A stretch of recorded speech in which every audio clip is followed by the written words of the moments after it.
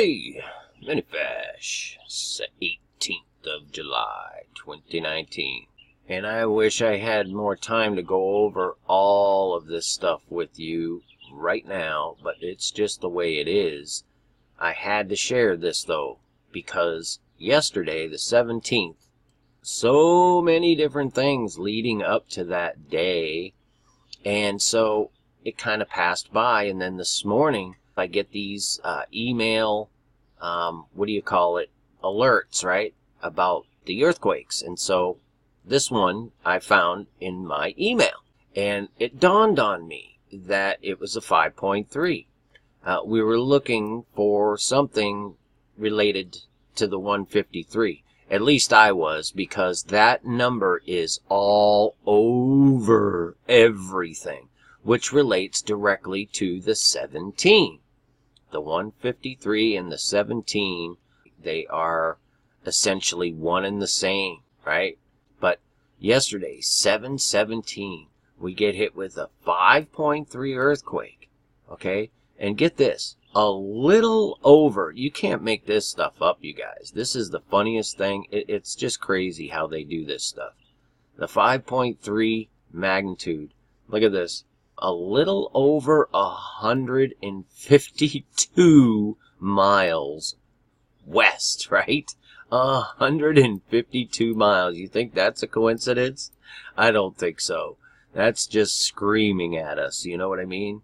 And don't forget, this is spiritual warfare, man. Oregon, a lot of people didn't know this, that in, in the English gematria is the 444, the same as Jesus, the same as gospel and the cross and Lucifer.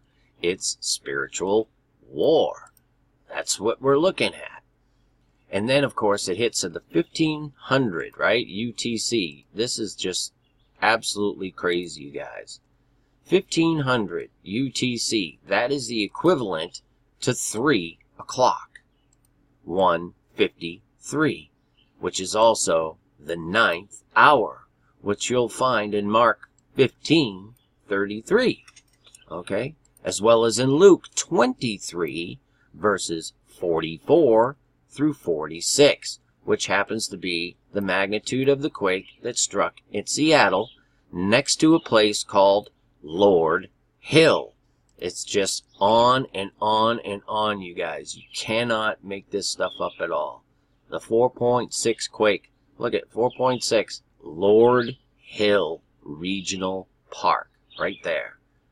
And what happens in Mark 15:33 and Luke 23:46? There's an earthquake, and the veil is rent from top to bottom. So there was a message sent yesterday without a doubt. Something is being relayed to us, and it obviously is related to earthquakes. And I do believe that that west coast is just primed, cocked and loaded, and it's going to snap any time. So you just got to be in Christ. That's the most safest place you can be is in Jesus Christ. No matter where on this world you are, if you're in Him, you're at peace and you are sealed till the day of redemption, okay? So just keep that in mind first and foremost all the time. And uh, peace and grace to you. Many Fish. Finally, my brethren, be strong in the Lord and in the power of his might. Put on the whole armour of God, that ye may be able to stand against the wiles of the devil. For we wrestle not against flesh and blood, but against principalities, against powers, against the rulers of the darkness of this world, against spiritual wickedness in high places. Wherefore take unto you the whole armour of God,